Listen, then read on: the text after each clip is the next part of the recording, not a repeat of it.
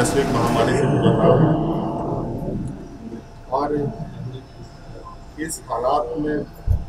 को ध्यान में रखते हुए, इस हालात से जूझते हुए राज्य सरकारें, देश की सरकारें अपने अपने स्तर पर अपने अपने तैयारी में जुटी हैं। हमने पहले भी इस विषय पर पहल किया और दूसरा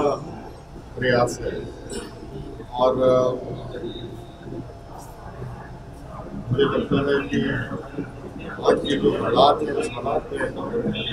थोड़ा प्रयास ज़्यादा करने की आवश्यकता है। और मुझे उम्मीद है कि हम लोग के इस दौर में, ये दौर, दूसरे दौरे में हम लोग राज्य सरकार के लिए कुछ बना सकें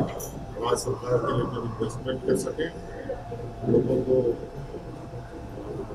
जो ग्रामों को हम लोग यहाँ लाने में सक्षम हो सके, ये प्रयास विभाग की तरफ़ से, सरकार की तरफ़ से। सर सर, ये जो सेंट्रल गवर्नमेंट का जो सर जो फैसला है- बंद हो चुके हैं यहाँ राज्य में जो पहले कभी यहाँ के लिए शाम की बात हुआ करता तो इसको फिर से चालू करने के लिए कभी वो सारे है।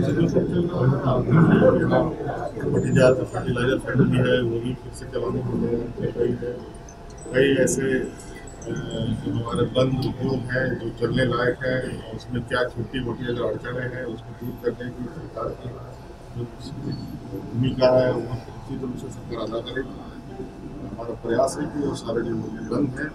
जो बिल्कुल ही नहीं चलने वाले हैं उनको पूरी तरीके से बंद किया जाए जो चलने की स्थिति में है उसको चलाया जाए के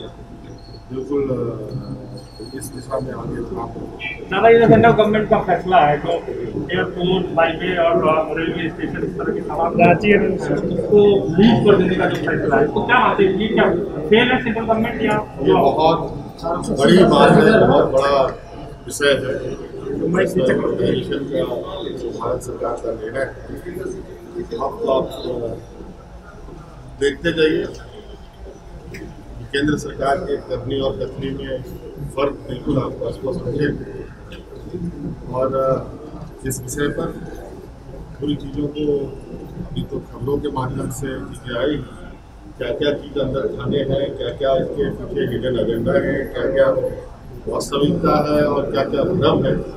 उन सब विषय पर हम लोग।